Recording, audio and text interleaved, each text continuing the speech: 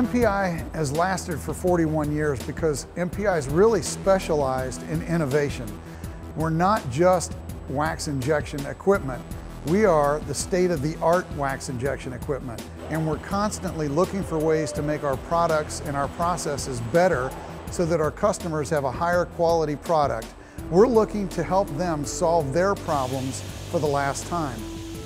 This industry is 3,000 years old. Sometimes today we think it's still running in that era. When we started with uh, automation, we manufactured a Model 2010. They used two three-axis Cartesian robots and they were a great way to start into automation. We soon realized that we needed to go to six-axis robots. So what we did was we purchased two used ABB robots to build an engineering test cell. We have a pattern production department that actually allows us to see firsthand the operation of our equipment. So it's a, a valuable tool to our engineering staff, continually improve our process and our products to our customers. This led us to develop this product you see here today, which is our Model 2014. It's the big brother of the original wax welding system.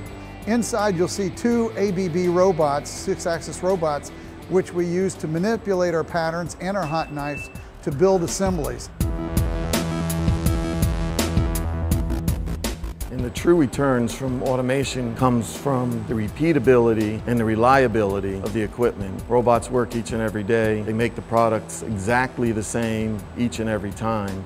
And in the investment casting industry, and specifically in the wax room, that's critical because the wax room is the first step in the casting process. And any variation we take out of the process in the wax room directly adds to gains to every downstream operation. What we've seen is uh, by automating, we can actually reduce their scrap rate, sometimes by as much as 50%. If you handle the part with a robot, you're going to get the exact same part every single time.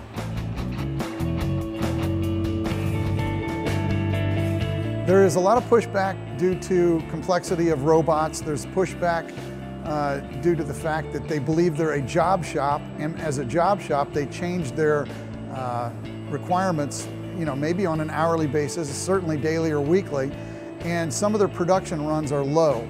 Our challenge is to convince our customer base that the robots, with the flexibility of quick change end-of-arm tooling, will be able to give them the ability of changing from one job to another. The equipment that we sell only makes the customer money when it's in production. So changeover time is very critical, it has to be quick.